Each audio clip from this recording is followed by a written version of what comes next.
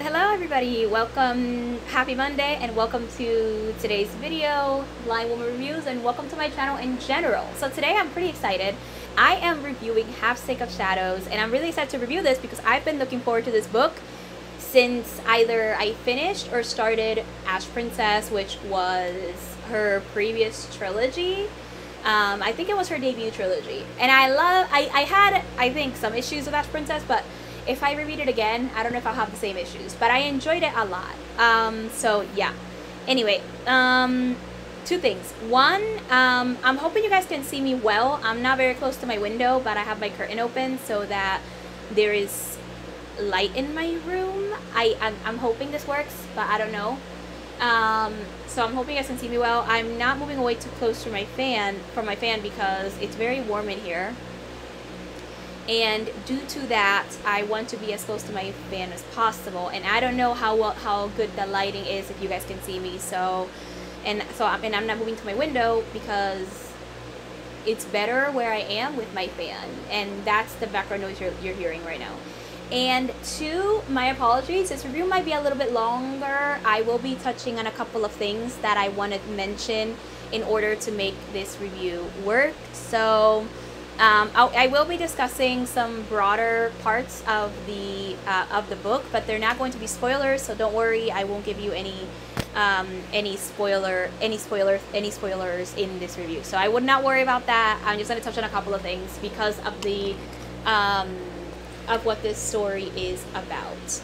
And without further ado, let us begin with this description because that is the best way to begin. Okay. The Lady of Shalott reclaims her story in this bold feminist reimagining of the Arthurian myth from the New York Times best-selling author of Ash Princess. Everyone knows the legend of Arthur destined to be a king, of the beautiful Guinevere who will betray him with his most loyal knight, Lancelot, of the bitter sorceress Morgana who will turn against them all. But Elaine alone carries the burden of knowing what is to come, for Elaine of Shalott is cursed to see the future. On the mystical Isle of Avalon, Elaine runs free and learns of the ancient prophecies surrounding her and her friends.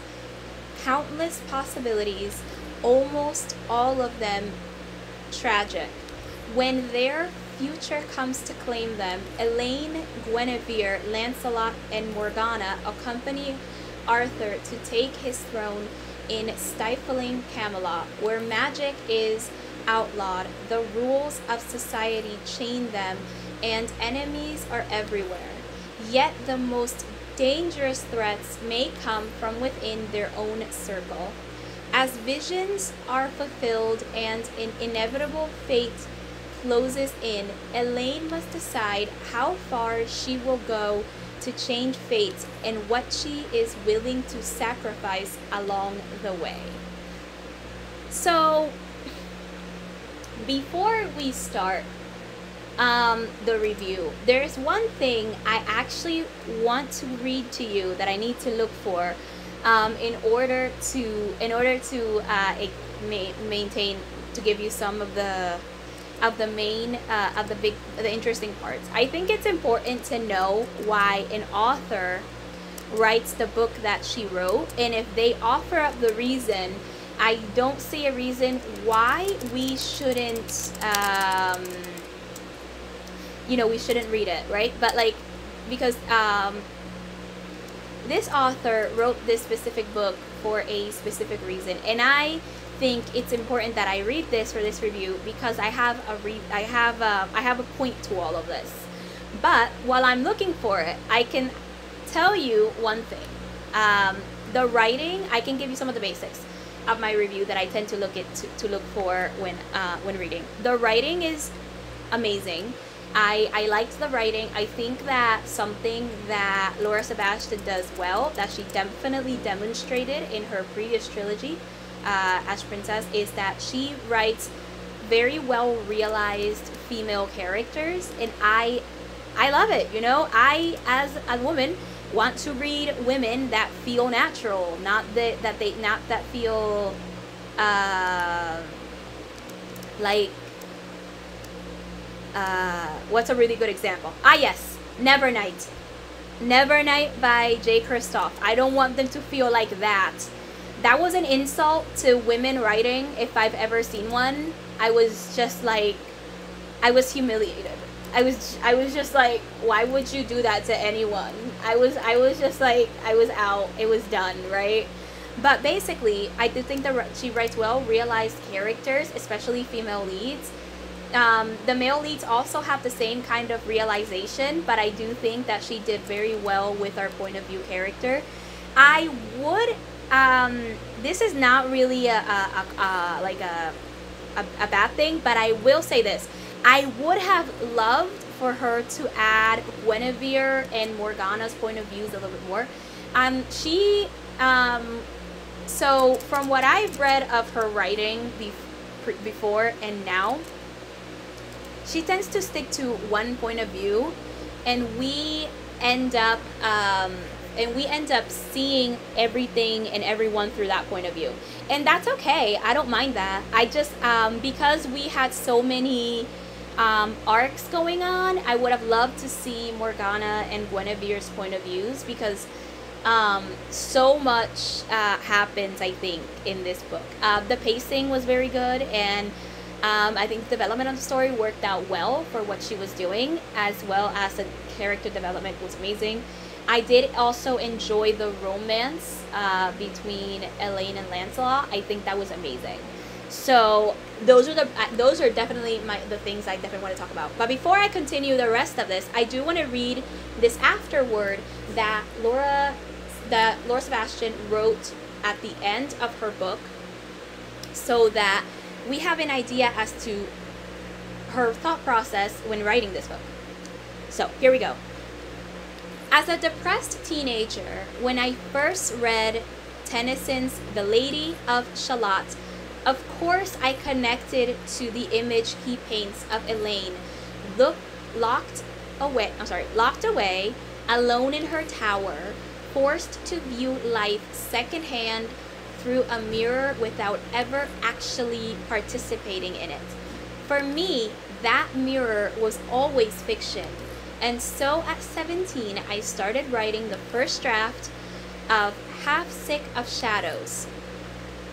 It isn't surprising that Elaine of Shalott was such a popular cultural figure during the Victorian era, a favorite of poets like Tennyson and the pre Raphaelite painters.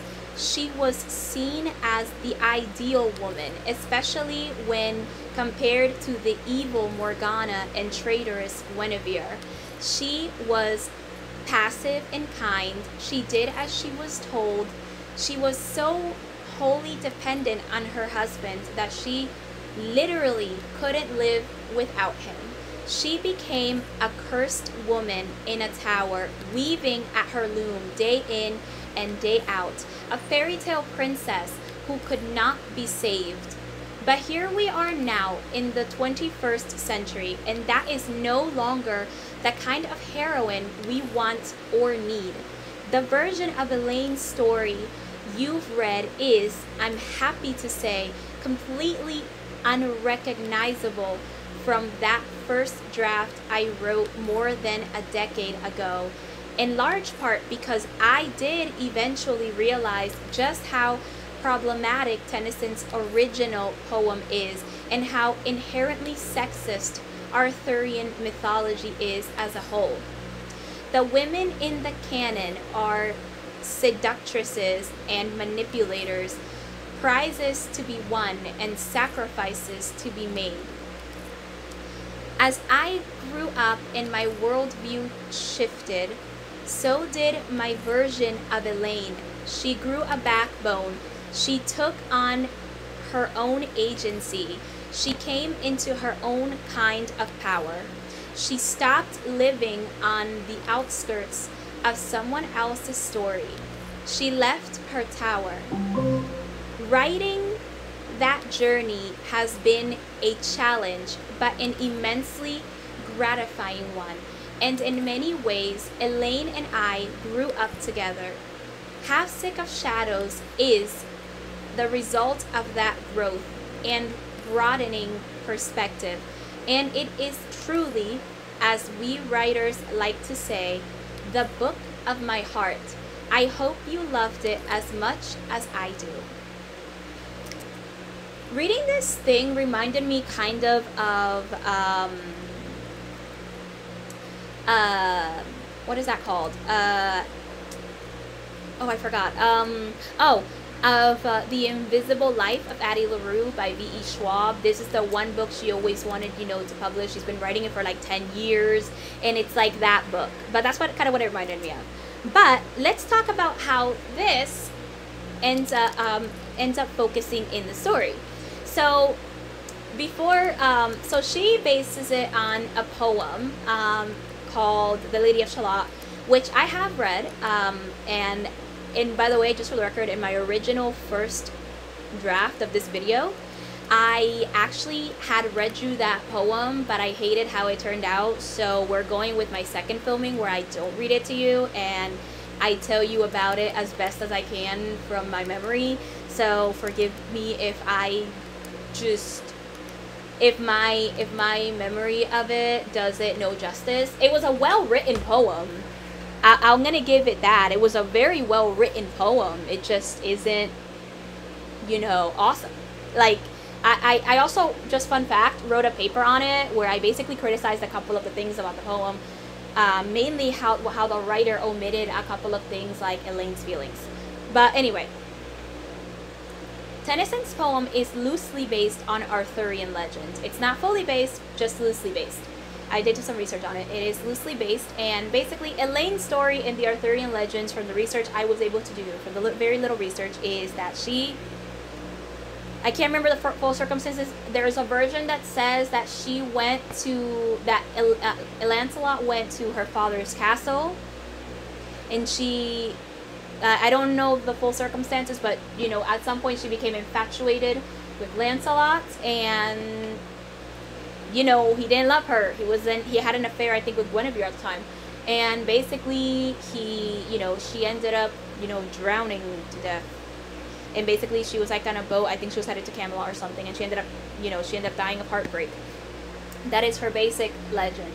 The poem itself um, does tell her story of um, a woman who is stuck in the uh, in her in this room. She's literally in a room, not even just a tower. It just says a room, where she is uh, weaving in her loom and does pretty much as she was told. Uh, it tells of a passive woman who did not um, did not you know contradict anything that she was told. She heard about the rumor that if she was to leave Camelot, she would die, and that she's cursed to see all that. And she pretty much lives life through the mirror and and she weaves the visions that the mirror shows her. But eventually, she sees Lancelot and, um, and you know the people passing, but mainly Lancelot, and she ends up deciding to leave the room. In Bloom in general, and she takes a boat to um, to Camelot, and there she ends up drowning on her way there, and it ends with you know everybody kind of seeing who she is and seeing her and Lancelot literally complimenting her beauty and may God basically give her soul grace or whatever. Um, the poem has like the main thing it repeats. The poem is the Lady of Shalott, but also the poem itself tells of um, you know it just it gives descriptions of, uh, of of like Camelot and the river and the people. Uh, it looks like they think of Elaine as a fairy. Um, some people don't know who she is. They've never seen her. They've never seen her wave, the surrounding people. So it, it does set up this atmosphere of a woman that has been unseen and basically is invisible to everyone. Um, so that is the or those are the ori- that's the original source material and from what it's based on. Arthurian legends in general are fascinating to me just because of the mythology. I really want to read Le Morte d'Arthur I don't know when I'll be reading it, but I do actually want to read it in order to um, to give myself that like you know to know to know what it is uh, to read to fully read it. I did I do remember reading a uh, a comprehensive collection of Arthurian legends in high school in my free time, and I remember parts of it, but not everything. And she um, she took a lot of uh, Laura Sebastian took a lot of the things I do remember, and basically made them into the visions that uh, that were seen in the book. Um, an example is uh, Guinevere's end ending in the Arthurian legends. In the original legends, um, when she when her uh, when her affair is discovered, she um, you know she's supposed to be executed. Lancelot rescues her, and she ends up in a convent. That is the original, and you know that comes up in the story along with how Ar- you know Arthur's death, along with pretty much a couple a bunch of other things really. But um, but what this story does that I like is that it it shows the process of which Arthur became king. It gives an entire process, not to mention um, adding some really awesome um, court intrigue, which I enjoyed a lot. Um, I love court intrigue and court politics in general. Um, so it added a lot of this, uh, a lot of this court intrigue and a lot of like this society of um, that they have they have in Camelot in the expectations of men versus women, which I I, I, I loved. And she put up this uh, this theme where women pretty much are mainly prizes and meant to be sacrificed, as she herself discusses in that afterward. And because Elaine grew up, um, Elaine, you know, did does you know grew up in Avalon and through for 10 years of her life. And she, you know, the main thing that she, Morgana, and Guinevere, and even Lancelot, but especially those them three, were were were basically told is like the main thing that they had to learn is they had to put Arthur on the throne, Arthur above all else. And due to that, they had to make many, many sacrifices. Elaine was the one that kind of orchestrated a lot of things in, in, in um, in Camelot in order to make certain that Arthur ended up in throne on the throne because it was the best way of peace. Um, it was the best way to peace. But in the process, she we see how her the things that she makes happen end up affecting other people and the way relationships are fractured and the way um, the way things go uh, at the end through the end. We see the we see her as as Arthur's taking the throne. We see as she um, as she also kind of breaks apart a little bit, but also how the people around her start breaking apart and how her decisions fracture the relationships, especially the ones between Guinevere, Morgana, and her. And there and some of her actions almost fracture her relationship with Lancelot as well because of some of the actions that she that she was taking. Um, and Arthur is kind of the more like you know he's the one that has to be put on the throne, but he's also you know he's he's also kind of naive and kind in a way, and the naivete is just a lot. But basically, due to that simple fact, uh, due to the fact that they they have to do all this stuff. You know, Elaine ends up sacrificing a lot, and eventually, um, she she uh, she pushes Morgana to the visions that she has seen of Morgana, without pretty much realizing it. But uh, but at the end of the day, um, you know, Morgana draws a line um, because of all the sacrifices she has made, and but Elaine and Guinevere do not and not until the very end where Elaine realizes she has crossed a line and that she doesn't want to cross it again and she ends up making the, the major sacrifice a big thing that was leading up to the very very from the very beginning of the story.